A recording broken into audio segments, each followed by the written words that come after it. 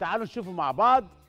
خط سير الحلقة بما إن إحنا معانا ال material بتاعنا بسيط وسهل ولكن المطبخ فيه فكرة طهوية ترضي كل الصغيرين والكبار.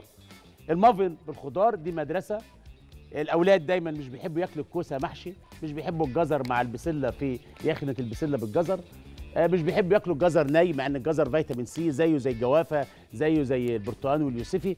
ولكن نقدر إن إحنا نقدمه النهارده بطريقة جديدة مافن الخضار بالدجاج. يعني برضه هيبقى فيه بروتين حيواني اللي هي الفراخ البيضاء وصدور الفراخ اللي موجودة معانا.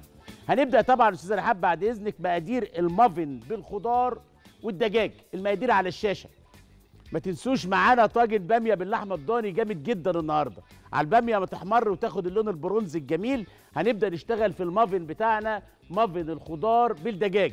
معانا تشكيلة من الخضار ومعانا صدور فراخ. معانا من البيض ثلاث بيضات كوبين من الدقيق. زي الفل والملح والفلفل والبصل والثوم. تعالوا نشوف هنعمله مع بعض إزاي بطريقة سهلة وبسيطة. وحابب حضراتكم تشاركوا معايا في الطبق ده لأنه طبعا مهم جدا. آه. والمقادير على الشاشة والصورة الحلوة دائما وابدا تتحدث عن نفسها. المافن بمدرسة المغازي.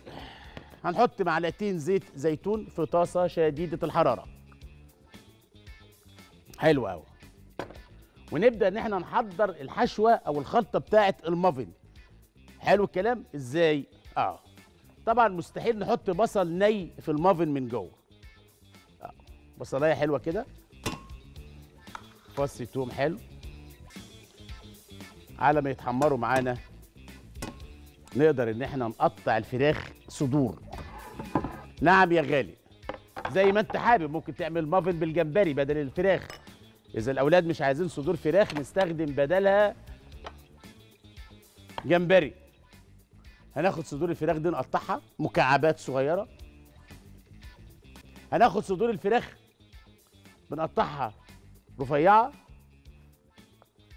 بنحمرها مع البصلة والتومة عشان أولادنا يتغذوا على مافن بالخضار والدجاج مشاكل الأنيميا.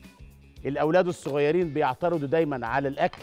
مش بيعترضوا إن هم يعني مش راضيين لا يعني متعودين ياكلوا بره fast food وبياكلوا بطاطس مقلية والسندوتشات. فأنت بدورك تحببهم في الأكل بتاعك تعملي لهم حاجات جديدة وحاجات مش موجودة بره. الفراخ تتقطع كده. بالشكل ده كده.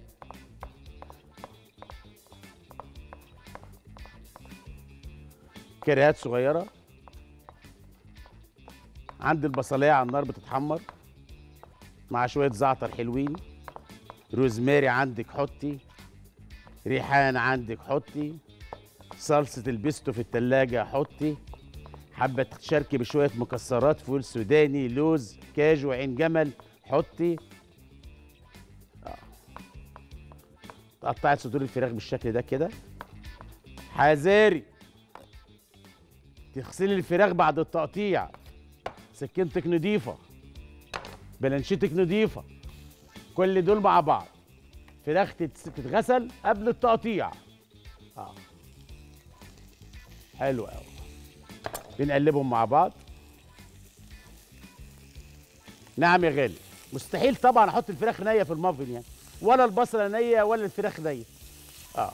بصلات تتشوح كده.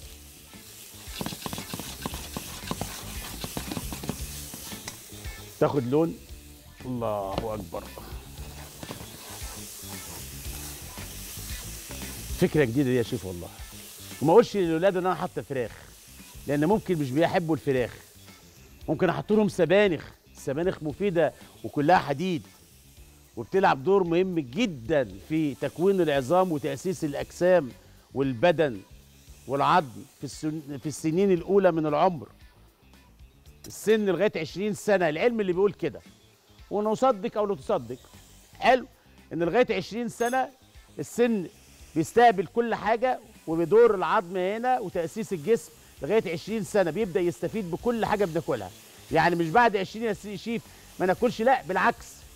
والدليل على كده الطفل الصغير مثلا لا قدر الله اتصاب حصل كسور أي حاجة تلاقي العظم بيلم بسرعة وكل حاجة بتتم الحمد لله وهذا بفضل ربي. عندي الفراخ اتحمصت مع البصلاية والتومة. إيه الجمال ده يا عم الشيف خدت لون واتحمصت بالشكل ده كده. حاضر عينيا الاثنين اللي انت مش عايز تطلعه بره. اهو. ناخد الفراخ دي بعد التحميصة الحلوة. نسيبها تبرد. يا ويلي يا ويلي. حلوة. لازم طبعا عشان نضيفها لبقية المقادير. ادي الفراخ جاهزة. آه ممكن سندوتش حتة لحمة في رغيف يعني. عندنا عيش وعايزين نعمل سندوتش ممكن نعملها سندوتش مع المايونيز مع التومية مع الكاتشب. الأولاد بيحبوا الحاجة دي. نسيبها تبرد كده على جنب. ونجيب إزاي؟ نعمل مكونات المافن بتاعنا. كسرولة عندنا بيض ثلاث بيضات.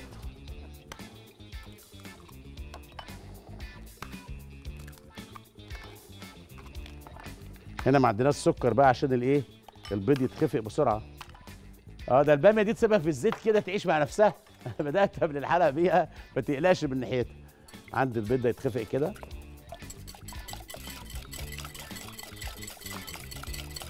مشاكلنا مع البيض إيه اللي بيحصل؟ بيبقى فيه زفارة. فلو بنعمل حلو بنحط فانيليا. طب بنعمل حادق وبنخفق له بيض كده نعمل إيه؟ حد يقول لي بسرعة سريعا كده بقى الشطار الحلوين. يلا اسبقوا المعلومة الغير معلومة. إضافة قطرات من عصير الليمون. إضافة قطرات من عصير الليمون. وإذا بنعمل مافن زي ده كده إضافة بشرة ليمون. الله عليك. المدرسة المغازية. آه آه وداعا هو ده. تمام. نحط الجبنة. أي نوع جبنة إحنا حابينها نحط البطاطس اللي إحنا بشرناها وحطيناها في مية عشان ما تسودش. حلو قوي. نحط الجزر اللي إحنا بشرينه وجاهز معانا. نحط كوسة برضو مبشورة وجاهزة معانا. ده كل ده في المافن يا شيف آه. هتدعي لي. ولادك مش بياكلوا الكوسة حطها في المافن مش بيحبوا السبانخ حطيها في المافن زي ما انت حابة. بنحط شوية حليب. ونسيب السائل ده كده على جنب. نيجي للدقيق بتاعنا.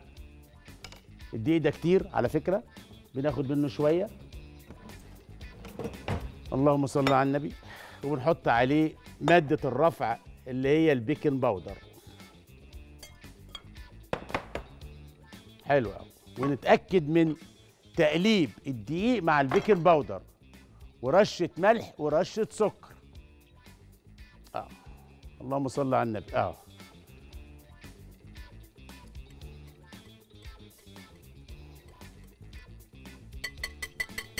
نقلب المقادير كلها مع بعضيها. بنفس المعلقة اللي كنا بنقلب بيها شوية من الفراخ. اهو ده الجزر. الله. مع البيض مع البصلة والتومة بتاعه الفراخ الجميلة. الله آه ننزل بالدقيق بتاعنا. الخليط يحتاج لقليل من الحليب. ونقلب. البامية ما تقلقش خالص. بس برضه ده ما يمنعش إنك تبص عليها كده. وتجيب الحمار بتاعها والشقاوة بتاعتها. إحنا بنوصل البامية لشكل الفستق الحلبي لما نيجي نحمصه.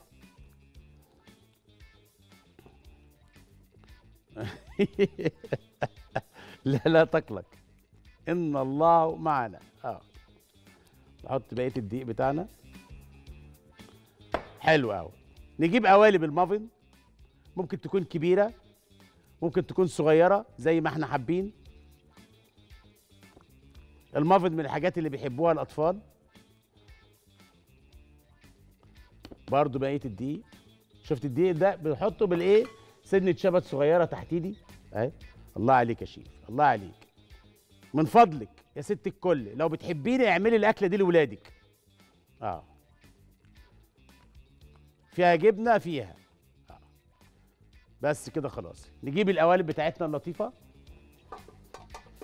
والله لا أجيبها في الصينية كده زي ما هي. حبيبي. آه. يا ويلي. زي الفل. بسم الله الرحمن الرحيم. هنعمل إيه يا عم الشيف؟ واحدة واحدة مع بعض. معانا فراخ. الله. أهو. فاكرين الفراخ اللي كنا بنحمصها من شوية؟ آه. تحطها كده. الله عليك. آه. حاجة جديدة. وهي وجبة للأولاد. آه. احتفالا براس السنة ممكن نعملها. آه. يعني خروجي من جو التورتيه والجاتوه ده.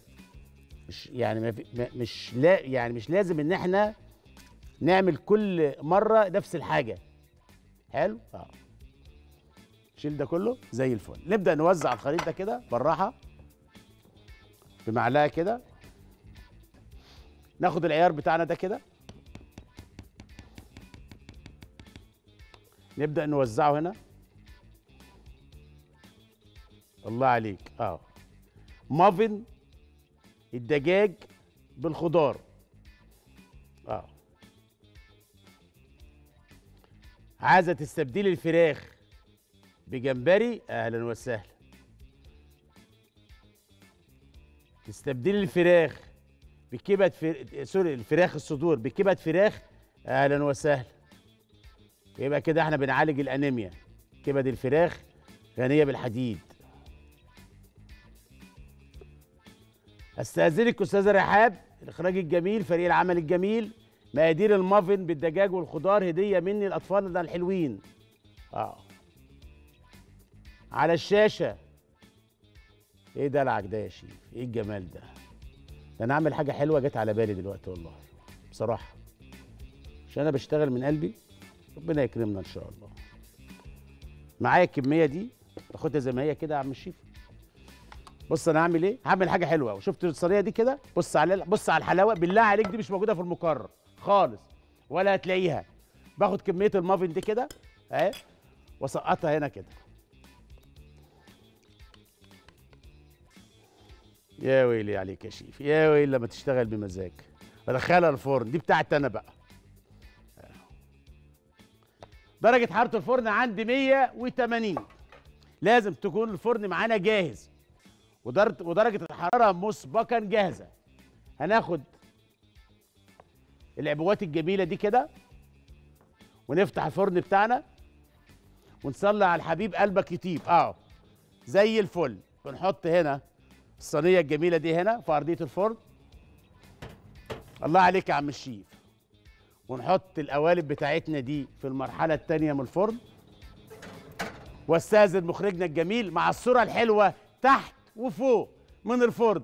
مافن بالدجاج والخضار هدية من الشيف المغازي لأطفالنا الحلوين اللي بيتابعوا برنامج أكلة أمي. لمافن الخضار بالدجاج. إحنا بنغرفه مع بعض. إيه الحلاوة دي يا عم الشيف؟ يا غالي يا حبيبي ده أنت مخرج السنين. يعني أنت فاضل شوية وتبقى شيف شاطر. دي مش هتحط عليها سكر بودر. ده حادق. ممكن نحط مثلا شوية قرفة. ده اختياري يعني. واخد بالك؟ آه. مافن الخضار بالدجاج. شوف أنا ماسكها منين يا شفيق. بص بالله عليك أكلك منين يا بطة؟ أكلك هو ده ده مافن. الدجاج بالخضار. آه آه آه العب. حلو. آه يلا. ده هي عايزة تطلع من القالب لوحدها. أنا خلصت. حاضر.